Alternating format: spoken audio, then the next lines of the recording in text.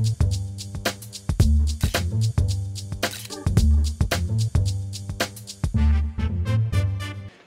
hi, my name is Craig Allen, and I'm the CEO of Spark Unlimited. We're a video game developer in Sherman Oaks, and our first title was Call of Duty Finest Hour. We helped launch that for the consoles, and uh, currently we're working on a project called Legendary, which will be out this fall, which is about mythological creatures battling in a modern world. It'll be pretty cool. And uh, I'm here at the show today mainly because uh, there is this idea of convergence coming back again which is kind of exciting. And um, games are about connecting people. So if we're talking about connected media, uh, games are something that can really anchor that interaction and create a social dynamic that we think is really exciting. From our perspective, uh, there really aren't any more discrete platforms. There's just one platform, which is the connectivity between the audience and the content that they want to connect to. So one of the challenges I think with traditional media versus the idea of the new media paradigm is we've created all these business lines built around specific verticals. Like there's the Apple you know, iPhone, there's my console game system, PlayStation, Xbox, there's my PC computer, and we have all these lines of business that are about uh, finding the right partners and the right distributors and the right uh, rights holders to access the audiences on these discrete systems. But going forward, there's really just connectivity.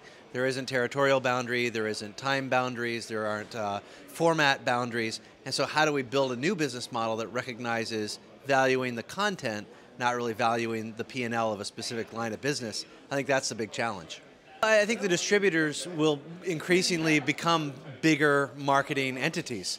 I mean, I think you already see that in the studios. The studios used to be heavily, heavily uh, integrated completely with you know wardrobe companies and and uh, makeup and costumes and actors under contract. And over time, they shed all those things, allowed for more specialization, and really focused on marketing and financing and outsourcing everything else. I think you're going to see that the there's going to be people that specialize again in marketing and launching to specific targeted demographics, uh, the kind of content that audiences want to connect into, and that's going to be their speciality.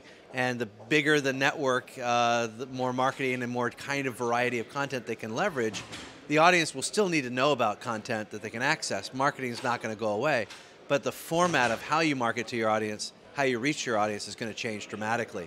You're not just going to broadcast it out as a network spot that goes out to everybody.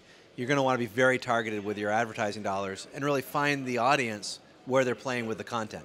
That, that's actually one of the most significant shifts right now in our industry in terms of traditional game creation is uh, we have had this very kind of insular model where everything happens under one roof. You're starting to see as production budgets have gone up, more specialization. We're seeing a lot of outsourcing to, uh, to Asia, to India, we're seeing uh, different companies specializing in different parts of the production, and you're starting to hear the workers uh, ask for certain rights, uh, quality of life. Uh, there's starting to be some lawsuits that are have gone around where people are trying to say, look, you need to recognize our contribution to the product. And I think you are going to see, if not unions, certainly more um, kind of wide specialization and more standards that allow for more of a film model production. Um, turnaround now to get a big budget game can be up to nine months just to do the deal. You can't support a big company for nine months of negotiation to get a project. So it's going to force these kind of shifts where you can have uh, our own development hell. In games, development has meant production historically. And I think uh, in the next couple years, development will mean you're thinking about it, not that you're actually doing it.